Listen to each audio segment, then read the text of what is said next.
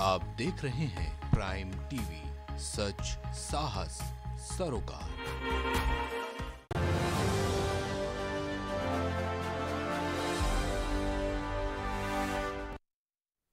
नमस्कार, उत्तराखंड की खबरों में आपका स्वागत है। मैं हूँ आपके साथ अनुष्का सिंह और चलिए अब नज़र डाल लेते हैं उत्तराखंड की तमाम बड़ी खबरों की तरफ़। पहली खबर कालाढूँगी से सामने आ रही है, जहाँ पर आगामी विधानसभा चुनाव के मद्देनजर तहसील शासन प्रशासन ने अपनी कमर कस ली है। वहीं तहसील परिसर में बैरिकेडिंग कर दी गई है। और उप जिलाधिकारी कालाडूँगी रेखा रेखा कोहली ने कहा कि नामांकन की प्रक्रिया 21 जनवरी से शुरू हो चुकी है। अब तक कालाडूँगी तहसील में 15 नामांकन पत्रों की बिक्री भी हो चुकी है। अभी तक किसी भी तरफ़ से नामांकन दर्ज नहीं कराया गया है। सीओ रामनगर और सीओ मुखानी की ओर से फोर्स तैनात कर दी गई है। भारत निर्वाचन आयोग की गाइडलाइन के अनुसार नामांकन प्रक्रिया करवाई जा रही है।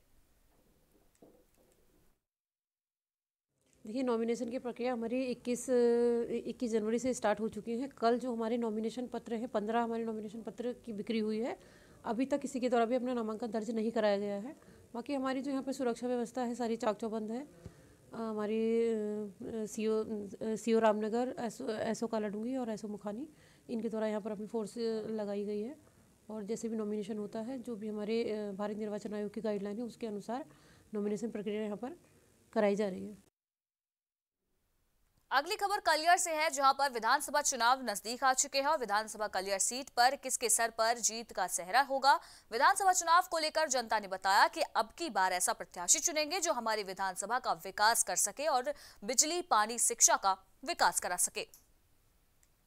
तो चाहे कोई भी हो, और सबसे पहली बात तो यह है कि नेता तो यहाँ पे एक पढ़ा लिखा इंजीनियर सादा वाला में जो सभी लोग उन्हें सपोर्ट कर रहे हैं और उन्हीं को ही देखना भी पसंद करेंगे। आम आदमी पार्टी को सपोर्ट करेंगे आम आदमी पार्टी को सपोर्ट करेंगे। पढ़े लिखे हैं इंजीनियर हैं काबिल हैं सच्चे अच्छे इंसान हैं। तो उन्हें इसलिए पसंद करेंगे तुम आम आदमी पार्टी बहुत तरक्की है और आम आदमी पार्टी बहुत काम करा रही है। दिल्ली के अंदर देख लो माननीय जो केजरीवाल जी है उन्होंने औरतों के हित में बच्चों के हित में एजुकेशन के हित तो में। जो यहाँ के विधायक उन्होंने कोई विकास विकास की स्थिति तो आप पूरे गाँव में अगर मैं घुमाऊँ तो देख ही लेंगे अपने आप के क्या विकास करा रखा उन्होंने। भाई हम इस तरह का नेता लाना चाह रहे हैं। वादे कम करें काम ज़्यादा करें। यहाँ की सड़कें बने यहाँ का विकास हो खंबे लाइट सारी सही हो चाहे बने कोई भी ऐसा ही नेता कर में हम कांग्रेस की सरकार लाना चाहते हैं क्योंकि कांग्रेस की सरकार में ही डेवलपमेंट होता है। हाल फ़िलहाल जो भाजपा की सरकार है, इसमें बेरोजगारी बहुत ज़्यादा बढ़ गई है। युवा बेहाल है, परेशान है, गरीब मजदूर और गरीब होते जा रहे हैं। इस सबसे निजात पाने के लिए हमें परिवर्तन लाना पड़ेगा और परिवर्तन के लिए कांग्रेस की सरकार लानी पड़ेगी, जिसमें सबका साथ, सबका विकास होता है। इसमें जो कह देते हैं, किसी डायलॉग जैसे बोलते हैं, इस तरह की कंडीशन कि सड़कें कम इसमें खड्डे ज़्यादा है। अरे मेरे को कहने वाली बात नहीं, जरा खुद भी देखें इस रोड को। हमें तो उस आदमी को वोट करनी है जो हमारा विकास कर सके हमारे गाँव का विकास कर सके। दूसरी बात हमारे गाँव में दस साल से हमारा गाँव एक लावारिस की तरह लटका हुआ है। जैसे लाश को लटका देते हैं ना किसी खंबे से? क्या गाँव तो नगर निगम में। गाँव का क्या नाम है पाटली गुज्जर। कभी नगर निगम में कभी नगर पंचायत में और कभी जिला पंचायत में इसका कोई समाधान नहीं है। आप पानी की किसी भी तरह की पूरे गाँव की कोई समस्या ऐसी नहीं जैसे हम कह दें। हर जगह पानी का भरा हुआ। कोई नाली ऐसी नहीं जिसमें सही सही सुरक्षित हो या पानी का सही हिसाब किताब हो। कौन सी पार्टी को लाना चाह रहे हैं यहाँ पे हम उसी पार्टी को लाना चाहेंगे साहब जो इस गाँव का विकास कर सके। अब रोज की रोज कोई ना कोई नेता यहाँ पे खड़ा रहता है। आपकी नज़रों में कौन सी मेरी नज़रों में- कर सके? आम आदमी है। जैसे हम उनका विकास देख रहे हैं दिल्ली में तो फ़िलहाल की जो हमारा दिमाग की जो पोजीशन है वो यही है कि आम आदमी को तो चाहे कोई भी हो। वहीं नरेंद्र नगर में उत्तराखंड क्रांति दल ने सरदार सिंह पुंजीर को विधानसभा से प्रत्याशी बनाया है। अपने कुछ साथियों के साथ चुनाव प्रचार करते हुए सरदार सिंह पुंजीर नरेंद्र नगर पहुँचे। सरदार सिंह पुंजीर साल 2017 में भी नरेंद्र नगर विधानसभा से यूकेडी के प्रत्याशी रहे हैं। तब वो तीन हज़ार तीन सौ चौदह मत लेकर चौथे नंबर पर रहे थे। नरेंद्र नगर विधानसभा से प्रत्याशी बनाए जाने पर पुंजीर ने केंद्रीय नेतृत्व का आभार जताया है और कहा है कि प्रदेश की जनता यूकेडी को सत्ता सौंपने जा रही है। मैंने कांग्रेस में तेरह साल काम किया है और अभी जितने भी हमारे विधायक रह चुके हैं, हमारे नरेंद्र नगर विधानसभा से, हमने सबका काम देख लिया है कि कौन कैसा काम करता है। और मैंने आज यूकेडी को ज्वाइन किया है और भाई जी के साथ भी काम करना है और देख सबको दिखाना है कि यूकेडी कैसा काम करती है और कैसा वो हमारे नए नगर विधानसभा के लिए काम करेगी। उन्होंने मुझे भरोसा करके जो यहाँ पे सर्वप्रथम हमारे नरेंद्र विधानसभा में उत्तराखंड क्रांति दल ने मुझे जो अपना प्रत्याशी घोषित किया है और आज जिन मुद्दों को लेकर हम उत्तराखंड क्रांति दल जो है, मैदान में आ रही है, वो मेन मुद्दा हमारे जो वास्तविकता, जो हमारी कमज़ोरी है इस उत्तराखंड की जो आज तक जो बारी बारिश लूटने का जो हुआ, सिलसिला चल रहा, उसके लिए हमारा ये मेन है कि एक तो हम भू कानून को लेकर के और ये मूल निवास और जो ये संविदा कर्मचारी जितने भी हैं, इनको जो है, इनके लिए और जो हमारी ये हमने इसको नरेंद्र राज्य बनाने के जिला बनाने की बात की थी, उसके लिए और तमाम लोगों का जो विश्वास हमारे पास चल रहा आज, उसी को लेकर के हमें मैदान में है। ना क्योंकि मुझे लग रहा है कि मैं जैसे पूरा फ़ील्ड में जो है डोर टू डोर गया हूँ। इससे लगा कि लोगों का जो रुझान, उनसे मोह भंग होकर के जो हमारे प्रति उत्तराखंड क्रांति दल के प्रति आ रहा है, मैं तमाम लोगों को भी धन्यवाद देना चाहूँगा कि कम से कम जागे हैं तो 20 साल बाद भी जागे हैं तो कम से कम जाग रहे हैं। इन बात के लिए मैं धन्यवाद देना चाहूँगा।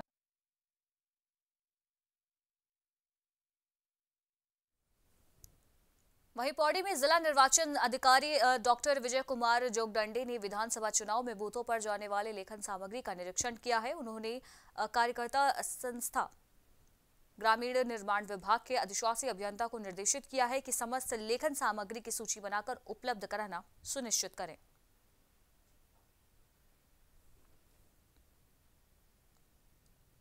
वहीं सुल्तानपुर में कई जगह पर नशे की गिरफ्त में युवा दिखाई दे रहे हैं, जिसमें उधम सिंह नगर भी अब अछूता नहीं है। उधम सिंह नगर के बाजपुर, सुल्तानपुर पट्टी क्षेत्र में भी नशे के सौदागरों ने अपने जड़ें जमा रखी हैं।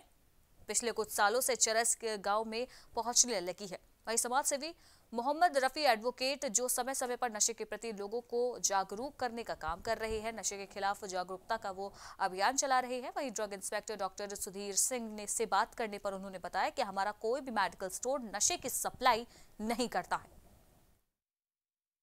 किसी भी देश का भविष्य और देश की तरक्की देश के युवाओं पर टिकी होती है। देश की युवा पीढ़ी अगर गलत रास्ते पर चले जाए तो निश्चित तौर पर उनका जीवन अंधकार में चला जाता है। मैंने इसी चीज़ को मुहिम को लेकर के हमारा देश, हमारा युवा, हमारा सुल्तान पट्टी का नागरिक अगर इस लत में चला जाएगा तो हमारा देश बर्बाद हो जाएगा। तो मैंने जन जागरूकता रैली के माध्यम से भी, कई बार पहले भी, और अब मैंने जो है फ्लैक्स के माध्यम से, नेशनल हाईवे पर एक फ्लैक्स लगाया है। उसके माध्यम से भी सुल्तान पट्टी की जनता को जताने के लिए, और आपके प्राइम टीवी के माध्यम से भी मैं अपनी सुल्तान पट्टी की जनता को जगाना चाहता हूँ कि ये जो है नशे की लत से युवा दूर जाएँ, नहीं तो ये देश बर्बाद हो जाएगा, उनका घर बर्बाद हो जाएगा। तमाम अनेक, कम से कम आधा दर्जन युवा सुल्तानपुर पट्टी के इस जो नशे का इंजेक्शन है, खासकर नशे का कारोबार है, नशे के इंजेक्शन की लत में आकर उन्होंने अपने आप को बर्बाद कर लिया और इस दुनिया से, अपने वक्त से पहले वो चले गए।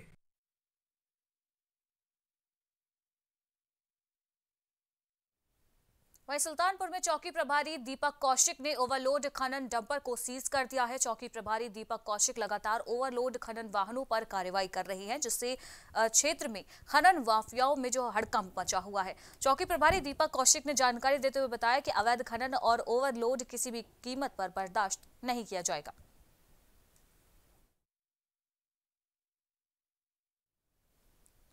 अगली खबर अल्मोड़ा से है, जहाँ पर मुख्यमंत्री पुष्कर धामी ने अल्मोड़ा मेडिकल कॉलेज का निरीक्षण किया। वहीं निरीक्षण के दौरान सीएम धामी ने कहा कि अल्मोड़ा मेडिकल कॉलेज को अस्तित्व में लाने और मान्यता दिलाने के लिए भारत सरकार से लगातार बात की जा रही है। अल्मोड़ा मेडिकल कॉलेज को जल्द ही शुरू किया जाएगा। बता दें कि अल्मोड़ा मेडिकल कॉलेज अपनी स्थापना के बाद से विवादों में रहा है। लोग बेसब्री से इसके पूर्ण रूप से खुलने का इंतज़ार कर रहे हैं। सीएम धामी ने कहा कि ओमिक्रोन के बढ़ते प्रभाव को देखते हुए अल्मोड़ा मेडिकल कॉलेज का निरीक्षण और कार्यो की समीक्षा की गई है। साथ ही सीएम ने कहा कि कोरोना महामारी के बढ़ते में व्यवस्था और व्यवस्थाओं का जायजा लेने के लिए मैंने निरीक्षण किया है। अभी चूँकि ओमिक्रॉन का प्रभाव बढ़ रहा है, उसको देखते हुए सभी जगह हम लोग समीक्षा कर रहे हैं। आज यहाँ भी मैंने देखा है, यहाँ की व्यवस्थाओं को देखा है कि आगे अगर किसी प्रकार की ज़रूरत होती है, कोई प्रभाव ज़्यादा बढ़ता है महामारी का ज़्यादा प्रकोप होता है तो हर तरीके से यहाँ पर व्यवस्थाएँ हों। किसी को कोई परेशानी ना हो एमरजेंसी के लिए हर तरह की चीज़ें तैयार हों, क्योंकि जान माल की सुरक्षा हमारे लिए पहली प्राथमिकता है। इसलिए आज यहाँ का भ्रमण किया है, सभी वार्डों को देखा है, अन्य व्यवस्थाओं का भी जायजा लिया है। कहीं पर कोई चीज़ कम नहीं होनी चाहिए, उसके लिए हम समुचित प्रयास कर रहे हैं, प्रबंध कर रहे हैं। वहीं बीजेपी में प्रत्याशियों की पहल जारी करने के लिए साथ ही चुनाव संग्राम जो है, अब वो तेज हो चुका है। कुमाऊं में वोटरों को साधने और बीजेपी को बड़ा दिलाने के लिए सीएम पुष्कर सिंह धामी चुताई मंदिर से उन्होंने चुनावी बिगुल की शुरुआत की। चुताई मंदिर पहुँचे सीएम धामी ने गोलू दरबार में माथा टेका और पूजा अर्चना की। सीएम धामी ने कहा कि चिताई गोलू देवता मंदिर में उन्होंने विधानसभा चुनाव को शांतिपूर्ण संपन्न कराने की प्रार्थना की है। वहीं पहली लिस्ट में 10 विधायकों के नाम कटने पर बगावत के सवाल पर सीएम ने कहा कि बीजेपी में कोई बगावत नहीं है। सभी बीजेपी पदाधिकारी, कार्यकर्ता एकजुट होकर बीजेपी को जीत दिलाएँगे। लोकतंत्र का महापर्व है क्योंकि इस समय में महामारी भी है, लोकतंत्र का पर्व भी है। गोलू देवता, हम सब पर कृपा करें और ये निर्विघ्न रूप से सारी प्रक्रिया संपन्न हो और पूरे प्रदेश में सभी लोग सुख समृद्धि से रहें। मैंने यही भगवान से प्रार्थना की है। कुछ जगहों में बगावत की यदि बुआ रही है उसके लिए क्या कहेंगे? देखिए, बहुत बड़ी पार्टी है आज विश्व की सबसे बड़ी पार्टी, भारतीय जनता पार्टी है। और चूँकि एक विधानसभा क्षेत्र में बहुत सारे दावेदार थे और सभी लोग चुनाव में जाना चाहते थे, लेकिन चूँकि देश काल परिस्थिति के अनुरूप हमारे मंडल के कार्यकर्ताओं से लेकर ज़िले के कार्यकर्ता, प्रदेश में समिति सबने जो नाम भेजे थे उन्हीं नामों में से केंद्रीय चुनाव समिति ने नाम तय किए हैं। ज्वालापुर विधानसभा सीट से भाजपा पार्टी द्वारा प्रत्याशी बनाए जाने पर विधायक सुरेश राठौर ने क्षेत्र भर में धन्यवाद रैली का आयोजन किया, जिसमें उन्होंने ज्वालापुर विधानसभा में डोर टू डोर जनसंपर्क कर शहर की जनता से आशीर्वाद मांगा और धन्यवाद रैली का समापन किया। इस मौके पर बोलते हुए उन्होंने कहा कि हाईकमान द्वारा जो आशीर्वाद और भरोसा उन्हें दिया गया है, वो उस पर पुनः खरा उतरते हुए यह सीट भाजपा की झोली में डालने का काम करेंगे। और कार्यकर्ताओं को भी उन्होंने भरोसा दिया है कि वो उनके अनुसार ही कार्य करते हुए जालापुर क्षेत्रीय को विकास की प्रगति की ओर आगे बढ़ाने का कार्य करें। अगली खबर हरिद्वार से है, जहाँ पर गुरुकुल कांगड़ी सम विश्वविद्यालय और मदरहुड विश्वविद्यालय रुटी के बीच एक एमओयू पर हस्ताक्षर किए गए हैं, जिससे दोनों विश्वविद्यालय उच्च शिक्षा के क्षेत्र में भारतीय संस्कृति, तकनीकी शिक्षा और रिसर्च बेस्ड शिक्षा में अपने अपने अनुभव साझा करेंगे, जिससे इन दोनों विश्वविद्यालय में पढ़ने वाले छात्र छात्राओं को इसका लाभ मिल सकेगा। गुरुकुल कांगड़ी विश्वविद्यालय के कुल सचिव डॉक्टर सुनील कुमार ने कहा कि दोनों विश्वविद्यालय शिक्षा के क्षेत्र में मिलकर कार्य करेंगे।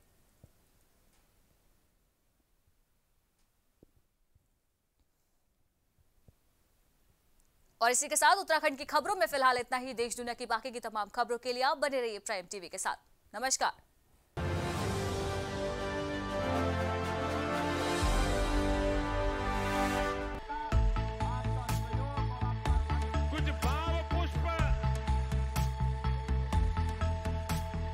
आप देख रहे हैं प्राइम टीवी सच साहस सरोकार।